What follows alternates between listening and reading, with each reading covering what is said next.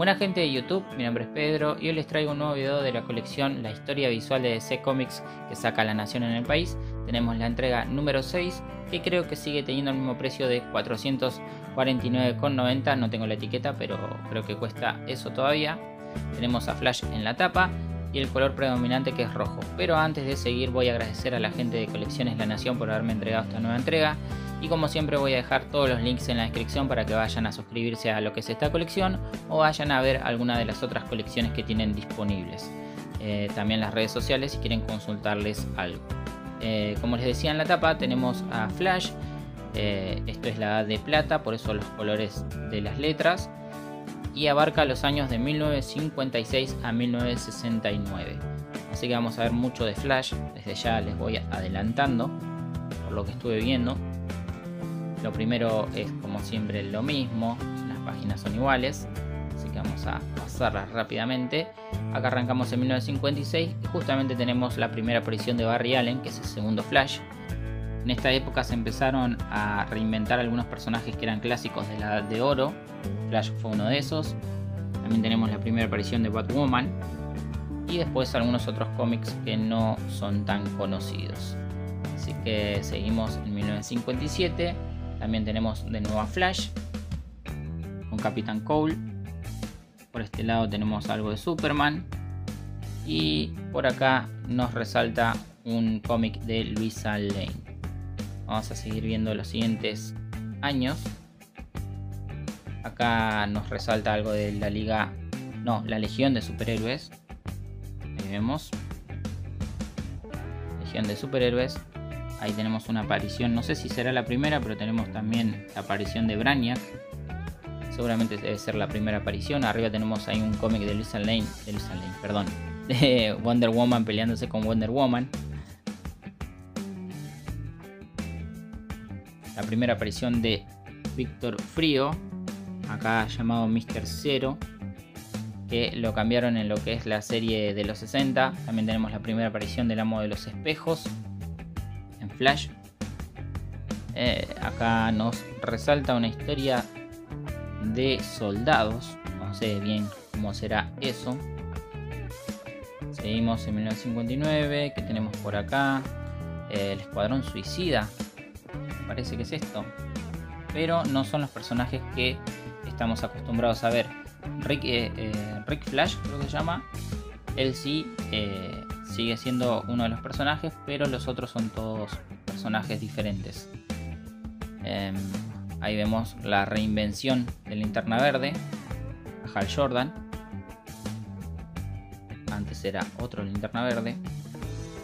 Y llegamos a 1960. Vamos a ver esta imagen. Donde vemos a la eh, Sociedad de la Justicia, creo que se llama, no me equivoco, eh, son los superhéroes antiguos. Ahí vemos este es linterna verde, el primer linterna verde. Así que bueno, vamos a seguir viendo. Tenemos el primer número donde la Liga de la Justicia se unió, la liga que conocemos hoy en día, la, más famosa. Y algunos otros números de Flash. Y acá vemos que aparecía eh, Capitán Boomerang y otros cómics que no conozco tanto. Em, que tenemos por acá. Bueno, acá tenemos la aparición de Batichica, que tampoco es la Batichica que conocemos todos, es otra anterior. Ahí tenemos la reinvención de Atomo, Flash en dos mundos.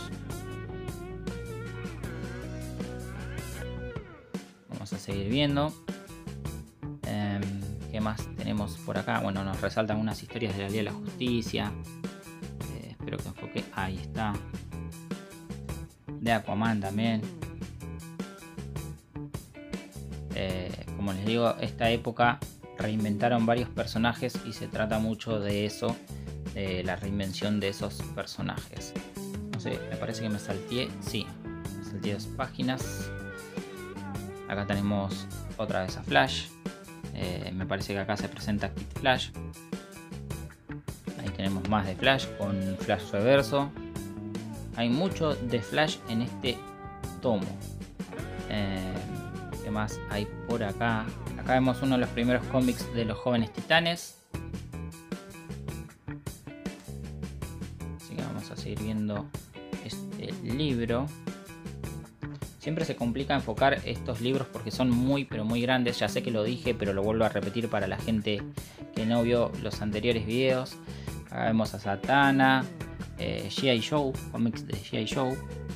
Eh, ¿Qué más hay ahí arriba?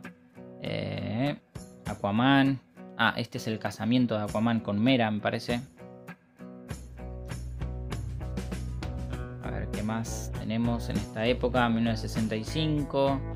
Eh, algunos cómics de Batman. Don Patrol.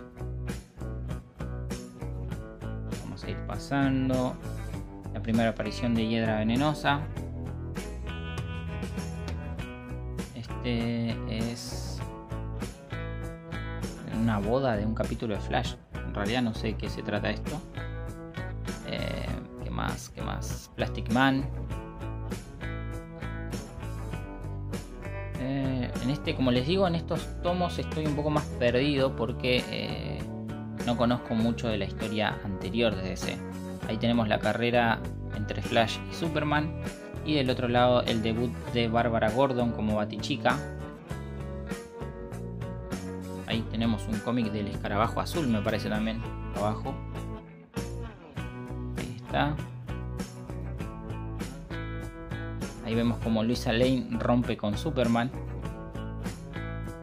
¿Y qué más tenemos? Algunas cosas seguramente me estoy salteando. Porque como no conozco tanto no quiero hablar eh, sin saber. Así que disculpen si me salteo alguna historia importante que es de esta época. Eh, ¿Qué más? 1969. Bueno, tenemos más cómics de la Liga de la Justicia. Eh, seguramente presentan algunos personajes que no conozco. Acá tenemos uno de Brian Bolt de Batman y Green Arrow. Y creo, sí, nada más por este número. Vamos a ver lo que son las láminas. Tenemos el eh, número donde se reúne por primera vez la Liga de la Justicia. 10 centavos costaba. Qué bueno. Starro el Conquistador. Donde peleaban con esta especie de estrella de mar gigante que era extraterrestre, algo así. Es un cómic súper clásico. Está muy bueno que venga una lámina de esto. Vamos a ver. No tiene ningún problema de, de definición ni nada por el estilo. El único hasta ahora que tuvo problemas fue el de la broma asesina. Y después tenemos esta otra lámina de la Sociedad de la Justicia. Ahí vemos a los personajes como como que les está pasando algo, están sufriendo, no sé bien. Estoy bastante perdido en esta en esta lámina. Y vemos que la eh, definición de la página del dibujo está muy bien. Así que bueno, estas son las dos láminas.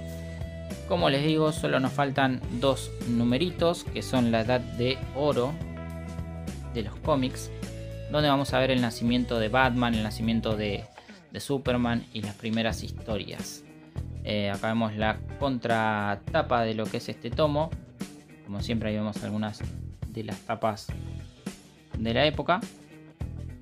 Y creo que no había mostrado el lomito, así que lo muestro ahora. Así que eh, solo nos quedan dos videos de esta colección. Colección que recomiendo bastante, está muy bueno. Sé que el precio no es tan económico, pero vale la pena mucho y más si a ustedes les gusta DC. Es una guía muy buena sobre cómics de DC y para conocer a algunos personajes cuando nacieron y demás. Siempre que los, que los agarro para mirarlos un poco, leo algo nuevo, así que está eh, muy bueno lo que es esta colección. Y bueno, nada más, espero que les haya gustado, eso es todo, nos vemos en un próximo video. ¡Chao!